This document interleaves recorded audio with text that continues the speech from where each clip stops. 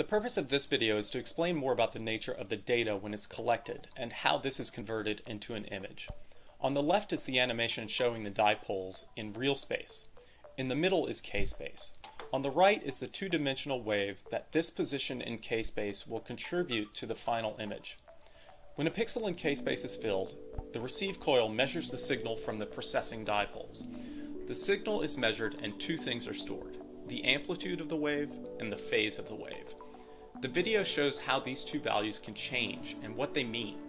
Amplitude is easy and is represented at the bottom as the black bar, the height of which represents the amplitude of the signal. If many dipoles are precessing together, the signal is stronger. The amplitude is high, that pixel in k-space is very bright, and this two-dimensional wave contributes a large component of the final image. If the amplitude is low, that pixel in k-space is darker, and this two-dimensional wave does not contribute much to the final image. Phase is a little more difficult to understand. In this video, phase is represented on the bottom as the color wheel. The color represents a specific phase. When the dipoles are dephased with the frequency or phase gradients, they begin to oppose one another in their contribution to the net signal. Another way to understand this is to notice what happens to the final image contribution when the phase is changed.